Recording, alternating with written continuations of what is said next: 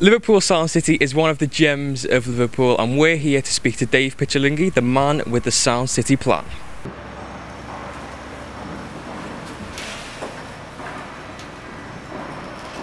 We're here at Liverpool Sound City. Uh, the lovely, lovely officers with uh, Dave Pichilingi, the man with the Sound City plan, who has unfortunately copied my uh, dress sense today, but it does show that he's got quite a lot of style. I think that, that just shows we're the gurus of style, you know, yeah. Where's yours from, Dave? Armani. I actually bought this in a um, Century 21 in New York when we were over there doing New York Sound City. There's a nice little link for you, yeah, yeah. Cool. Yeah. Well, I'll go into New York Sound City in a minute, um, but mine's Primark as well. So, Dave. As uh, well, mine's not Primark. I never said mine was it's always something to Primark. say with- Century 21's a high class gentleman's clothing store, I'll have you know. Oh, sorry about that, Centric 21. Um, So, Dave, before you started out, not that I've got anything against Primark, by the I'm way. Sure, I'm know, sure you yeah, haven't. You know, uh, wait, before you started out doing uh, Liverpool Sound City, you were in the music side, the music performance side of the yeah, business. Well, God, that was a long time in, ago. Uh, yeah, yeah. 35 summers. So, you know, just tell us how did how did you move from sort of 35 summers uh, performance side to you know Liverpool Sound City business side, so to speak.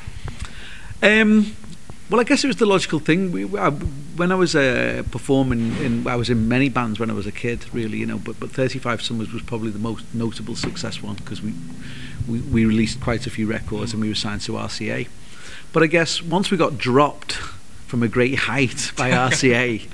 Um, you know, I, I guess it, it was in my bloodstream then. Really, you know, I'd always had the desire to be a musician, to be a singer from when I was a kid. Really, I had that drummed into me from my mum. Really, who's who's been a cabaret singer all, all her life. And so once we once I got dropped, I, I just decided that that you know the music biz was for me really. And I guess working uh, or, or being signed with 35 Summers and and I'd worked in radio previous to that when I was when I was even younger than that. I guess I had a lot of relationships and a lot of kind of contacts. So so, so it was it was easy for me to make that transformation Yeah. really, you know, in, into the business side of it. up your networks and all that. Yeah. So, would you know the success of 35 Summers? Will 35 Summers be, you know, making a, a, a return? Would they be ever playing Sound City? No. Do you know what, I've joked about it. I do see we, we do see uh, see some of my old mates and stuff who, who were in that band every now and again. And look, if the farm can get back together and Wiley's still doing it, I mean, I can't see you going self-indulgence. it's a favourite pastime to of Yeah, mine. you, you'd sing it better than me. We should Well, do a duet, should. Ben. Yeah, you've got the youth and the good looks, so no I can just. one Uh, else will. No one else seems to take the time. I'm very impressed with all the words. Write the lines that express how I really feel when I feel really, really down. Very, That's very all- good. That is very good, by the way. That is uh, that is a lot better than me. But yeah. Okay, so basically,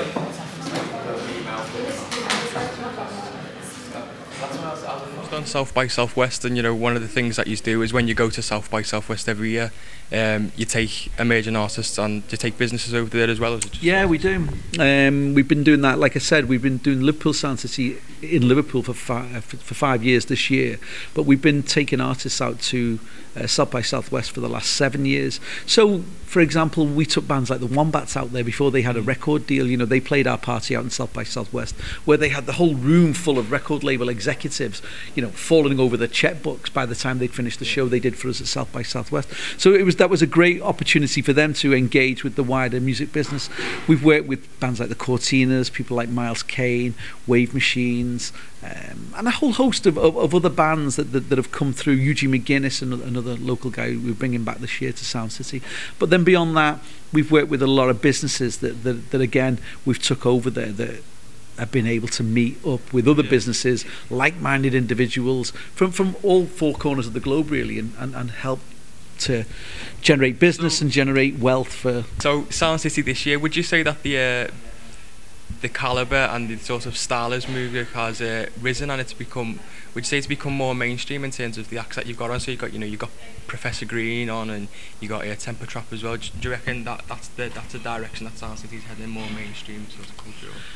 Um, I don't think we could ever be accused of being overly um, associated with with with, with com- commercialism. You know, when we're not, in, in, you know. Professor Green is probably the, the most commercial act, yes, we, we, we've ever booked for the festival. I think we just decided to step it, step it up this year uh, to go for some, you know, some higher profile artists.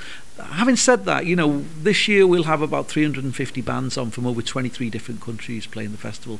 And, you know, if, if you look, if you just look down the billings and look at some of the really bizarre and wonderful venues that we're using, running right through the veins of Sound City is still new emerging yeah. talent, you know, and, and I think that will always be core to what we do. I think yes, we will as we move forward look to book bigger acts, but running right the way through it will be will be the will the emerging talent. The up and coming artists and stuff. So any top tips for you know music that we for artists that we should be filming during Sound City? I'm always the wrong person to ask this question to. You know, I, I, you should ask some of the people down there. But but you know, I, I would be you know I think core to what we do is, is, is developing music. You know, Liverpool. When when you think of Liverpool, you think of two things: football and music, really. And that's not just people from the UK. That's people from all over the world. You've got the John Peel World Cup as well, haven't you? We've got the John Peel World Cup for the for the for the fifth year running, yeah, which will take place on Gervais Park in Liverpool on the Saturday of Sound City.